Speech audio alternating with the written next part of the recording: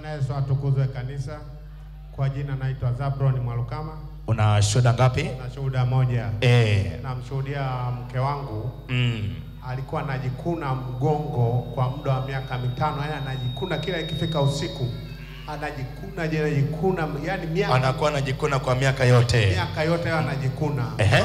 Nilipochukua vifaa vya kiroho ndio siku moja nilivyoona anazidi kujikuna, nikachukua ujasiri nikamwambia, hebu hebu let... Ukawa sasa umemchukulia hapa madhaboni vifaa vya kiroho. Eh. Akawa amevitumia. Eh, nilichukua maji ya mfuniko mweupe Mm. nikampaka mara moja tu, akaacha mpaka leo hii Kapona kabisa. kapona kabisa. Makofi tena mazito na vigelegele vizito kwa Yesu.